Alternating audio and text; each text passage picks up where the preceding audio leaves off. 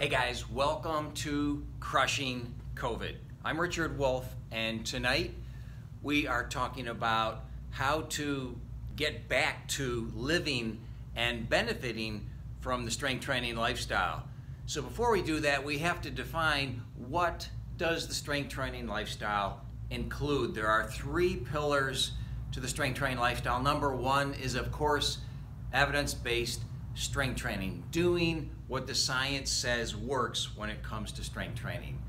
Number two, it's living an active lifestyle. We call this using your muscles. In your strength workout, you train your muscles, of course. When you go out and live your life and live an active lifestyle, you're basically using your muscles.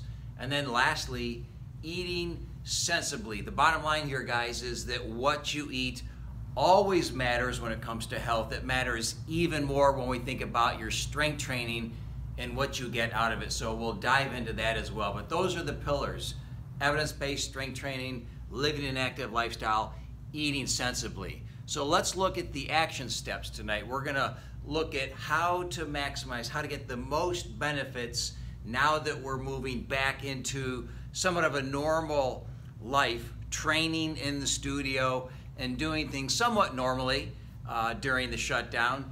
And we'll look at what are the action steps, what are the things to prioritize for you to get the most out of that as we're uh, getting back to usual, business as usual. So, number one is to prioritize workout skills instead of volume. Now, this is a big issue in strength training circles, and it's a little bit less of an issue when you're in an environment being coached and supervised the way we do here at Med Fitness, but there's always a tendency to look at your strength workout on a performance standpoint and sort of treat it like it's a competitive sport. You know where you left off, you know the weights that you were lifting, all of that, of course, is on your chart. We know how many repetitions you happen to get at that last weight. And so it's very easy and tempting to say, hey, I want to get the same number of reps with the same weight, even though it's been about three months since you last strength trained in the studio. That's not necessarily the best way to approach it because it doesn't focus on what we would describe as quality movement. So when I say prioritize skills, workout skills, there are four skills that we coach here at Med Fitness. What are those? Number one is form. This is your posture on the exercise. The rule of thumb here, guys, is really simple how you start the exercise, the posture that you have with your body at the beginning of an exercise is how you should look at the end of an exercise. Shifting your body, modifying your form, changing your posture to squeeze out an additional rep or two is really counterproductive for a lot of reasons. It shifts the load to other muscles, it can increase risk of injury. So, number one workout skill is your form. Maintain the same form throughout the entire set. Don't modify posture as a way of squeezing out an additional repetition because it minimizes the quality of the exercise and minimizes the safety of the exercise as well. So number one, target skill number one, focus on form. Number two is of course speed. We are big advocates of training in a slow controlled fashion here at Med Fitness. Everyone who's a client of ours knows this. We have the Med Fitness clock that you use to manage your speed. But what I'm going to say is the same thing I said with form. Don't change your speed as the fatigue increases just as a way of squeezing out an additional repetition or two. Again, the, the objective of the exercise is to overload the muscle, get a deep, thorough fatigue of the target muscle group so that we're getting benefits from that exercise. So speeding up to get reps done is the opposite of that. Again, if we were paying you to do reps, it would make sense. If you were in a competition to do reps, it would make sense. Go faster.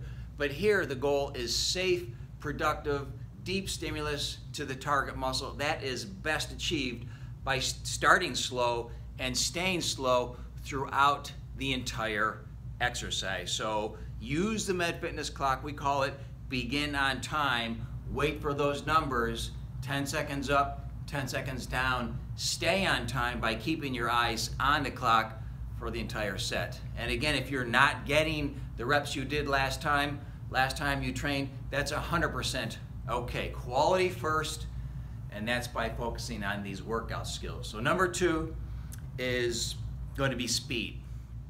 Number three is what we would describe as range of motion, which means the distance that you're shortening and lengthening the muscle, the movement pattern that you're going through. And so the rule of thumb here is simple. Move through a full range of motion as long as it's pain-free. Now the exception to this would be someone who's working around an issue. Maybe you've got a joint issue and we're doing some time static holds where we're just holding the weight in one position for a minute to a minute and a half. That would be the exception. You're just not moving. You're, that's why we call it static contraction or static hold.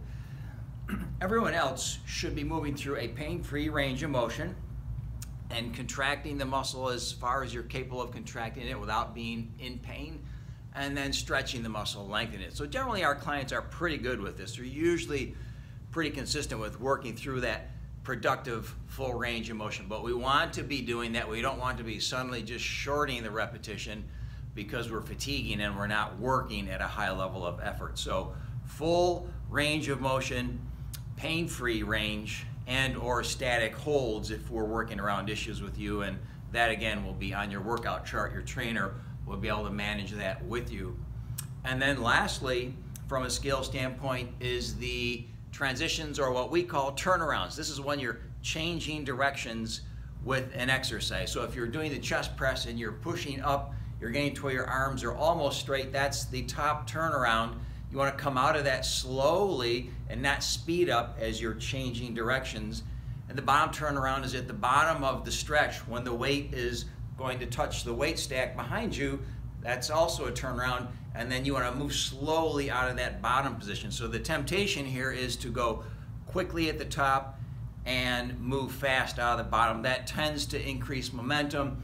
It tends to make the exercise harder. Again, this is not a competitive sport. It's not a contest. You're not getting paid to do more repetitions. No one's giving you a trophy at the end of the workout. We simply want to challenge and stimulate the target muscle as safely as humanly possible. That can be achieved by complying with safe, consistent, slow turnarounds, top and bottom. So what have I said here? Take the emphasis off of your performance, put the emphasis on the workout skills, and this allows us to be prioritizing quality movement over volume, which is really the essence of the strength workout. So that's action step number one. Focus on skills, not volume and performance. Number two, living an active lifestyle. With this one, what we want you to do is build minutes, not miles. Now, some of you have heard me talk about this in the past. It wasn't until 2008 that we had formal physical activity guidelines here in the United States, and then those guidelines were updated in 2018. And so, in the second edition of those guidelines, a surprising recommendation was made based on the best evidence we have around physical activity and health benefits, and that is there is no minimum requirement from a volume standpoint for benefiting from living an active lifestyle. Now, what do I mean by this? Well, historically, people have always thought about getting out and going for a bike ride or a, a, swim or a jog or a walk or whatever it might be, whatever the activity is that you're choosing to do. And they would think of it in terms of big blocks. I have to do a 30 minutes or more. I have to do 45 minutes, whatever they may be trying to accomplish. And that's really been turned upside down. When we look at the evidence here in these most uh, current guidelines, in 2008 they were updated, they're saying the science is telling us that even really small bouts of physical activity can be meaningful. And so what we're arguing here is you don't have to do an activity for an entire 20 minutes, 30 minutes, 40 minutes, whatever it might be that your objective is, you can do it in small bits and pieces and build minutes throughout the day to get to your overall goal of X minutes per day. So what is that number? How many minutes am I really recommending on a daily basis? Well, again, just looking at the 2018 guidelines, what they're telling us is that for moderate intensity physical activity, what I would call a brisk walk, if you get out and you're taking a walk, uh, not sightseeing, for a lot of us, not walking the dog, that is often a too slow of a pace, but a brisk, steady state walk of at least 20 minutes a day, seven days a week. So this is equating to about 150 minutes of moderate intensity physical, activity on a weekly basis uh, to achieve meaningful health benefits. Again, it doesn't have to be walking. It could be any other moderate intensity activity that you choose to do. It could be biking or a lot of different options here. But 20 minutes of moderate intensity physical activity per day, seven days a week, or you can tick that number up and have lower days and higher days. And it doesn't have to be 20 minutes exactly, seven days across the board, but we're going for a total of 150 minutes of accumulated planned physical activity per week to achieve these health benefits. What about vigorous physical activity? Actually, let me back up for two seconds. So 20 minutes a day, 150 minutes a week, basically that's 21 minutes a day. Um, what you can do here is you can build minutes, right? I just said that. So you might do seven minutes in the morning, you might do seven minutes at lunch, you might do seven minutes after dinner. However you break it up, you can break this into very small incremental bouts to achieve the total. So you don't have to do it in one continuous block. This is an important message, guys. I can't tell you how many people over the last 30 years that I've met with have believed that they have to do it all at once. You can build those minutes during the day, again, at that appropriate intensity not sightseeing, not a super slow walk with your dog. We're talking about getting out at a brisk pace and moving your body through space. What about vigorous physical activity? The good news, is it's less. Just like with strength training, the harder your work, the less training volume you need. Same thing with these types of activities. So for vigorous physical activity, the guidelines are suggesting 10 minutes a day of vigorous physical activity. So if you're doing something like running or you're on a Stairmaster or a step mill or a more challenging activity, an elliptical trainer, 10 minutes is the recommended minimum threshold. So basically half. So if you do that, again, you can treat it the same way. You don't have to do it all at once, although 10 minutes is probably fairly doable to bite off all at once. But you could do five minutes now, five minutes in the evening. I can say that I frequently break up my physical activity during the day. Historically, I always did larger blocks of activity, but in recent years, for a lot of different reasons, I'm breaking it up into smaller pieces of 15 to 20 minutes for me. But again, look at yourself, look at the minimum recommendation, at least 20 minutes a day or 150 minutes a week of moderate intensity activity, or 10 minutes a day or 75 minutes a week of vigorous physical activity. But I think the take home message that's most noteworthy here is that there's no minimum amount required to benefit. So if you literally wanted to do this as it's being presented, you could say, I'll do a minute of hard activity. Then a little later, I'll do another minute. You could literally do that. There's still physical benefits to doing that. So break it up in a way that accommodates your schedule and your routine so that this becomes a doable part of your normal lifestyle.